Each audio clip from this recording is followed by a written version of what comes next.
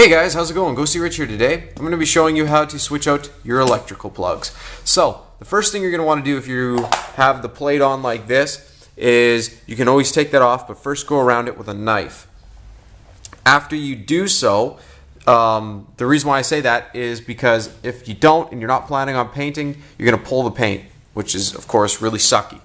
So, uh, make sure that you of course cut around the plate first and then pull it off so it doesn't pull off any paint. Make sure you do the same with the receptacle. Just go around the edges of the metal. Now, next thing you want to do before you start pulling that away from the wall is we want to, of course, check to make sure there's no power in there. So if you have a power probe, makes it really easy. They're like 20 bucks at Home Depot. Um, stick it in, as you can see, and just make sure that there's no power, which there isn't. If there is power or also, if the plug just wasn't working before, you're going to want to actually check the wires. If you don't have any power here and the breaker's live, means that you have bigger issues. But if uh, you do this, then you know it's not live, or then you know there's no power going to it, and you've hit the right breaker. If this starts going red and beeping at you, it means that you have power there, and you need to find the right breaker. All right. So once you uh, flick your breaker, you're ready to go. Um, next thing you want to do is take a look. A lot of older houses had aluminum wiring, like this one does. And then, of course, with the newer plugs, they're actually designed for copper. So you want to do a copper wire conversion, which I can show you here in a second. The first thing you're going to want to do, though, if you have already copper wiring, is if you do have only one pair of wires, then you're going to tie in these two bottom terminals all the way in. All right? And the reason why is you won't need this one or this one. So you just tie them all the way in, the screw all the way in, and then you will copy, just put the plug up right next to it, and you'll see that the white wire goes to this side, and the black wire goes to this side. And if you're still confused, it will actually say hot wire and white wire. And all you're going to do is put the white wire where the white wire goes, the black wire on the hot wire, and then of course make sure you have your ground. And that's for if you have copper. If it's poking in the back, you can always do the poking method. I actually prefer the screw down method. It's easier for maintenance or if you want to switch them out again and you don't have to continuously keep cutting these if a receptacle goes bad or something. I don't know. Anyways, so if you have aluminum wiring and you have these switches, I'll show you what to do. Also, a good thing to do is make sure that it's usually going to be the same, but it's always really good to check. Make sure that both the switches are 15 amp and um, well, it all depends. Read your switch and make sure you match them. Because the last thing you want to do is have it in the wrong, right? So, stay tuned for the next section.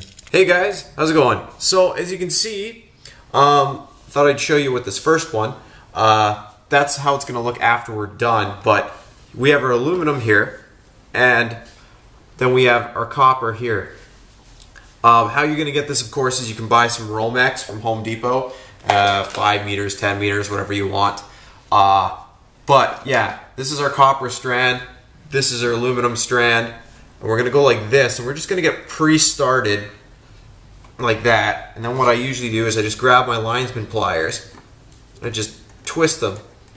And you're going to get them, I think it's a minimum of three to code. Can't remember 100%, but I usually do it until it's all the way up, and then I squish the tip, so it's like that. So you can see now they're really good. They're nice and tight together. Then we take our purple wing nut or Marrette and then you put it, poke it through the plastic so it's all in that grease. And then squeeze it on there. Make sure there's no copper showing at all because you don't want this shorting. I think it's seven turns with the Marrette is to code, but I don't know 100%. Code changes everywhere. But I usually go until it's tight and then a couple twists around the wire because it's easier to hide that way. And then we tuck it in. And then with the copper lead that for your ground, I just go right into the box. Tie it off with the metal screw in the box, stick it out. Now you have your wire conversion. Now you're just going to take your plug like I told you to, read the back. White goes to white, black goes to black, uh, or black goes to hot. And then tie in the two bottom screw terminals if you're not using those. And then put on your ground onto the green screw, and that's it. Just put it back together after that. And then if you want to, Klein also has this, which is a plug checker. And as you can see, if it's correct, these two yellow lights will go. After you flick the breaker on, plug this in, and that's a good way to check. If not, you can always check with the USB charger, which is what some people do, but be very careful with doing that. All right, so I hope this video helped you out. Um, of course, press the subscribe button if you want to see some more videos about this. I've got another one that deals with light switches. And then, of course, press the like button if it helped you out. Anyways, thanks again for watching and have a great day. One last quick note for you, if you're doing this, um, after the copper is in, is make sure that the loop goes like this. You don't want the uh, copper hanging out over the edge. So if you look, you just want that tip to be tucked in against the plastic. So when you tie this in, it gets super tight. Okay?